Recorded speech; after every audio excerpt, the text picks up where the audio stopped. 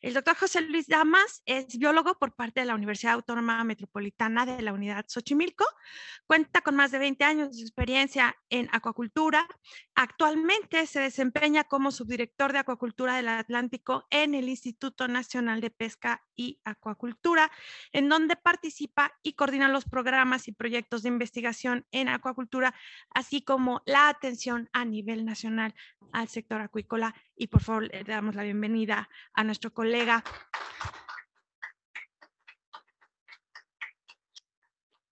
Y él nos va a platicar el día de hoy o va a compartir con nosotros sobre las funciones y programas de la Dirección de Investigación en Acuacultura y en verdad agradecemos que INAPESCA esté presente en nuestro evento. Muchas gracias. Muchas gracias, Rosario. Eh, gracias a todos. Eh, muy buen día.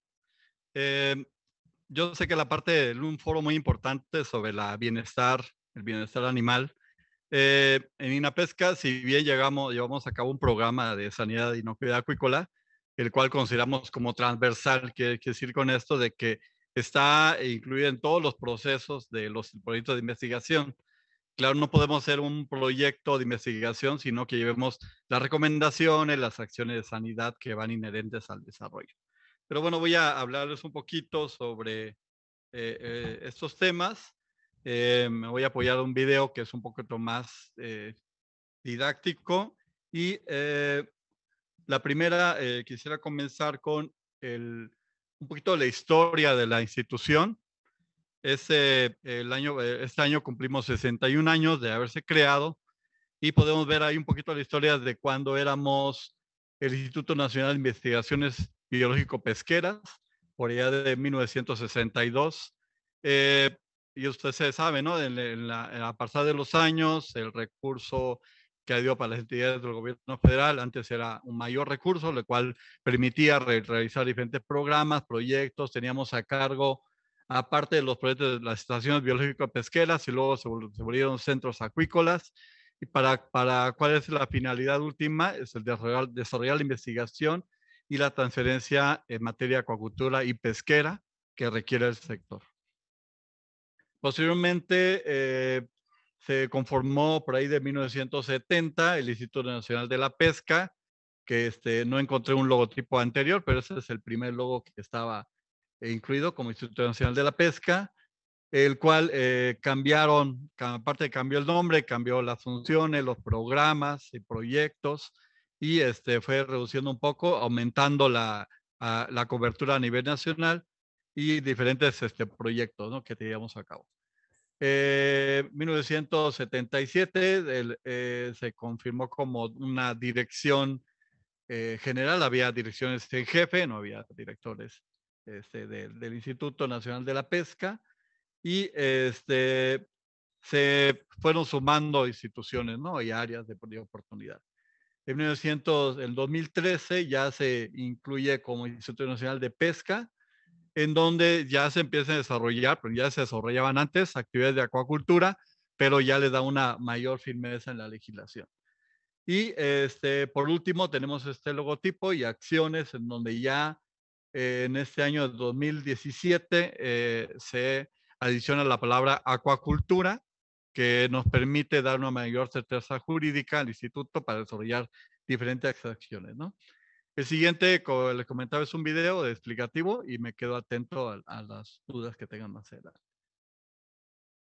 El Instituto Nacional de Pesca y Acuacultura tiene la misión de coordinar y orientar la investigación científica y tecnológica en materia de pesca y acuacultura, así como el desarrollo, innovación y transferencia tecnológica que requiera el sector pesquero y acuícola. Para cumplir con esta importante labor, el instituto cuenta con 14 centros regionales de investigación pesquera y acuícola, Asimismo, acorde con el Plan Nacional de Desarrollo 2019-2024, el INAPESCA cuenta con tres objetivos prioritarios dentro de su programa institucional. 1. Aumentar el conocimiento científico y tecnológico para el aprovechamiento sustentable de los recursos pesqueros y acuícolas. 2. Incrementar la transferencia de tecnología acuícola y pesquera, priorizando las regiones de menor desarrollo y comunidades indígenas, bajo los principios de igualdad entre mujeres y hombres. Y 3 mejorar el desempeño operativo del INAPESCA bajo los principios de eficacia, eficiencia y transparencia.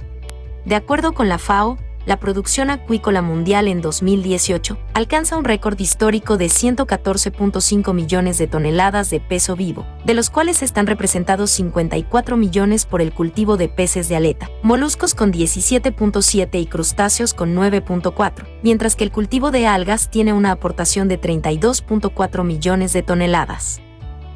Para México, en 2019, se reportaron 306.000 toneladas de peso vivo de producción acuícola, representada en primer lugar por la camaronicultura, seguido por el cultivo de peces como tilapia o mojarra, carpa y atún aleta azul, y en tercer lugar por ostiones. A pesar de su potencial acuícola, el cultivo de macroalgas no es representativo en México. México cuenta con 15.069 kilómetros de línea de costa, 633.000 kilómetros de longitud de ríos, 653 acuíferos, 731 cuencas, 210 embalses en su territorio contando con un enorme potencial para la acuicultura y maricultura.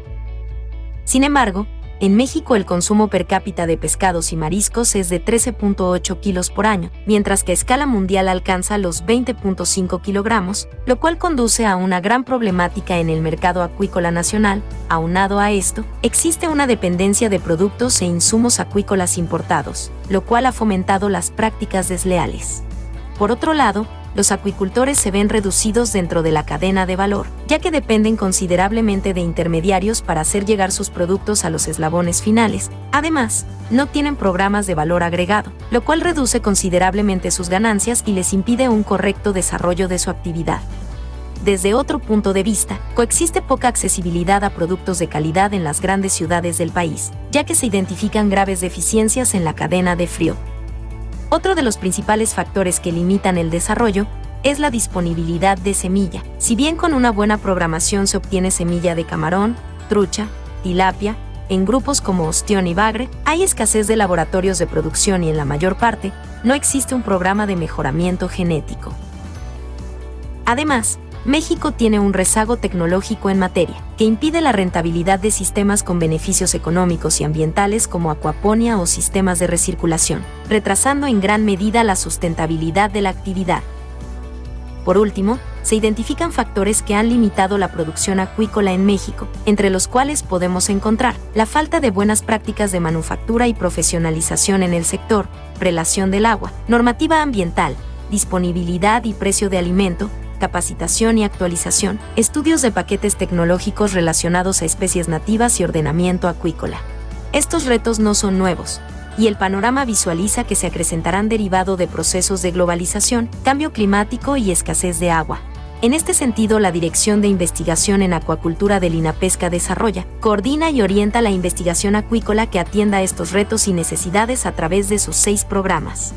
Programa de peces dulce acuícolas, Programa de peces marinos, Programa de invertebrados marinos, Programa de capacidad de carga acuícola, Programa de sanidad e inocuidad, así como un programa de transferencia tecnológica. Este último tiene proyectos que atienden a productores, grupos o territorios en particular, e inician con un diagnóstico completo pensando en todo, desde la cría hasta el mercado. Posteriormente se acompaña a los productores para fortalecer, corregir y asegurar que tengan éxito con la tecnología transferida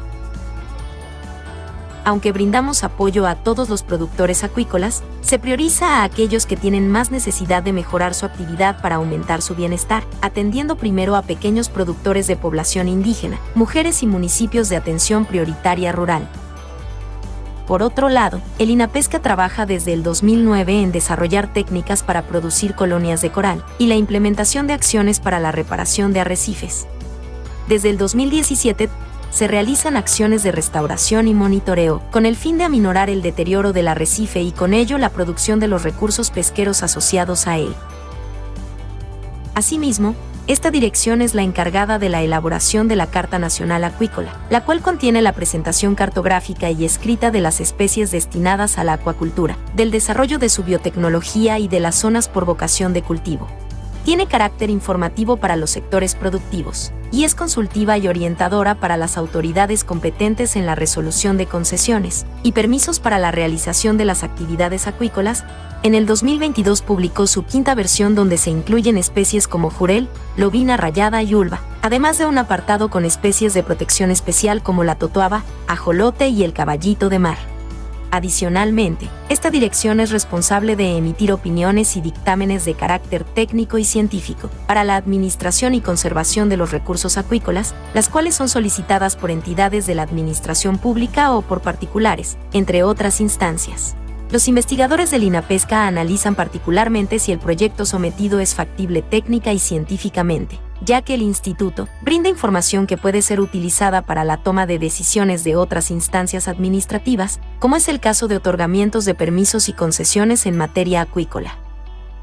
El INAPESCA, a través de esta dirección, ha firmado dos memorándums de entendimiento en los últimos años, México-China, con el Instituto de Investigación Pesquera del Mar Amarillo, y México-Hungría, con el Instituto de Investigación e Innovación Agrícola de Hungría, cuya finalidad es fortalecer la vinculación y experiencia con investigadores internacionales. A la fecha, se han realizado reuniones bilaterales para exponer temas de interés entre ambas naciones. Además, la ley fundamenta la creación de la Red Nacional de Información e Investigación en Pesca y Acuacultura, RENIPA, la cual aporta la articulación de acciones, la optimización de recursos humanos, financieros y de infraestructura. A la fecha se tienen consolidadas cinco regiones de la red, Pacífico Noroeste, Pacífico Centro-Sur, Golfo de México Noreste, Golfo de México Sureste, Centro. La RENIPA se encuentra vinculada con 77 instituciones a nivel nacional como universidades, centros educativos y de investigación, y se continúa en la labor de seguir integrando instituciones a la red, Además se cuenta con un directorio de investigadores que permite vincular temas de estudio y estados donde se realiza la investigación de las diversas instituciones a escala nacional. Por otra parte, esta dirección es la encargada de llevar dos subcomponentes. El subcomponente semilla acuícola apoya a los pequeños productores acuícolas y pescadores de aguas interiores, para que compren crías, postlarvas o semilla de ostión, producidos en laboratorios con certificado de sanidad acuícola, para mejorar la producción a través de semilla de calidad mejorada que impulse el nivel de bienestar de los beneficiarios. Y el subcomponente líneas genéticas mejoradas, el cual apoya el desarrollo de líneas genéticas mejoradas de especies acuícolas de interés comercial, para poner al alcance de los pequeños productores acuícolas las crías y alimentos necesarios para incrementar, en poco tiempo, las ganancias y reducir sus costos. El INAPESCA es integrante del Grupo de Coordinación para el Cambio Climático en el sector agropecuario, acuícola y pesquero, que ha conformado la Secretaría de Agricultura de Desarrollo Rural, el cual tiene el objeto de que los sectores alimentarios, entre ellos el acuícola y el pesquero, apoyen en las acciones de mitigación y adaptación al cambio climático, el cual afecta la forma de vida de millones de mexicanos y el que en las próximas décadas se espera que sus efectos se vean acentuados. Los escenarios climáticos indican que para los océanos de México habrá cambios en el nivel del mar y en la intensidad de tormentas y huracanes, mientras que las condiciones físico-químicas de los mares se verán alteradas por el incremento en la temperatura, la concentración de oxígeno, la productividad primaria y la acidificación oceánica. Estos eventos son preocupantes ya que afectarán directamente la calidad del servicio ecosistémico para la acuacultura y la pesca, sectores de importancia en la seguridad alimentaria del país y para millones de personas que constituyen las cadenas productivas. Para enfrentar esta situación a través de una planeación estratégica de adaptación de los sectores productores de alimento, el GCCC elaboró su instrumento rector denominado Plan Estratégico de Cambio Climático para el Sector Alimentario, PLECA, el cual está diseñado para la mejor toma de decisiones, dando congruencia a las reglas de operación, a la priorización de los territorios y poblaciones por su vulnerabilidad a los cambios en el clima en el caso de la pesca y acuacultura se busca desarrollar herramientas para detectar las zonas de mayor vulnerabilidad y poder así enfocar acciones para incrementar la capacidad de adaptación de estos sectores y de quien las desarrollan. Por lo anterior y como aporte al PLECA, el INAPESCA en conjunto a EDF generó las evaluaciones de vulnerabilidad de más de 10.000 poblaciones costeras y más de 7.000 instalaciones acuícolas de México y modelar posibles cambios de distribución de 20 especies clave el sector acuícola y pesquero. El presente estudio generó información base que ayudará a dar dirección y a definir los criterios para la priorización y toma de decisiones, que impulsen el buen desempeño de la acuacultura y la pesca en el contexto del cambio climático. Los resultados proporcionan información útil para las autoridades, detectando los estados y municipios que requieren con mayor urgencia la puesta en práctica de acciones de adaptación, buscando asegurar el bienestar futuro del sector pesquero y acuícola del país. México es un país mega diverso, y el instituto a través de la dirección ha buscado aprovechar esta ventaja por medio de alternativas locales de cultivo, promoviendo el aprovechamiento de especies nativas como pescado blanco, robalo, acumara y achoque, así como aumentar y diversificar la producción mediante cultivos cerrados, como es el caso de acuaponia, aprovechando de manera eficiente el uso de suelo y agua. Además se ha buscado un enfoque ecosistémico, como en el proyecto de cultivo de corales y restauración de arrecifes, el cual no solo apoya el ambiente con la aportación de corales cultivados y su siembra en el arrecife, sino que beneficia la economía de la región al mejorar zonas de pesca y áreas para el turismo, e incentiva la participación de la comunidad a través de la capacitación a brigadistas. Por último, el INAPESCA, a través de la Dirección de Investigación en Acuacultura, está trabajando constantemente en la mejora continua de sus procesos para llegar a más productores acuícolas y atender de manera específica a las necesidades del sector para lograr el mayor impacto posible en el desarrollo tecnológico, producción y bienestar de los acuacultores mexicanos. Las páginas de, de internet y redes sociales para que tengan más información y queda a la orden para cualquier duda.